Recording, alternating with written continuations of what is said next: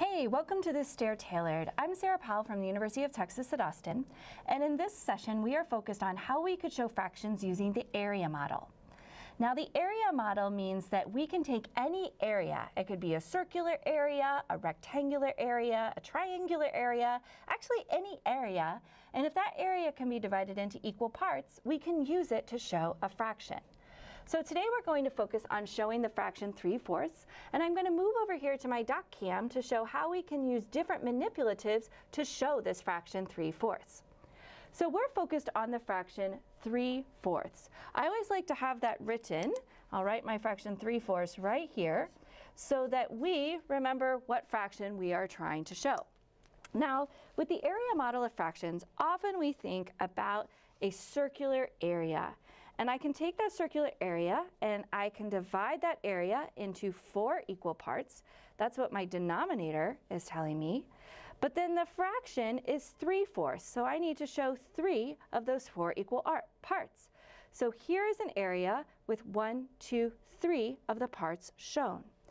Uh, we can also show this in slightly different ways. So here I'm going to take uh, two shapes and I can show 3 fourths of the area of these shapes. So here I have shown the fraction 3 fourths. I can also do 3 fourths where something like Legos. So here is an area and I'm going to show 1, 2, 3 of the four parts of that area with the turquoise Legos.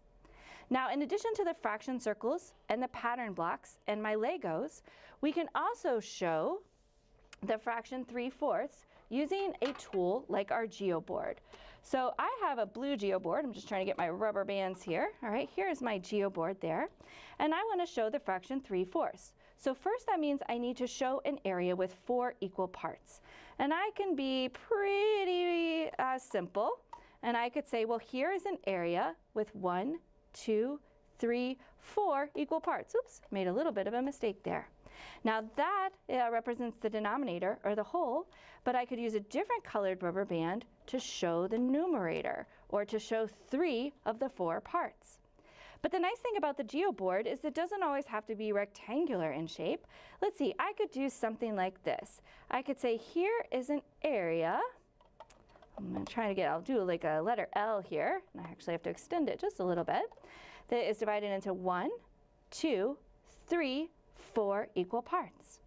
And then I could take my other colored rubber band and ring uh, the rubber band around three of those four parts. So I have an area that is divided into equal parts. So we have lots of tools that we can use here. We could do something with the geoboard. We can use the fraction circles.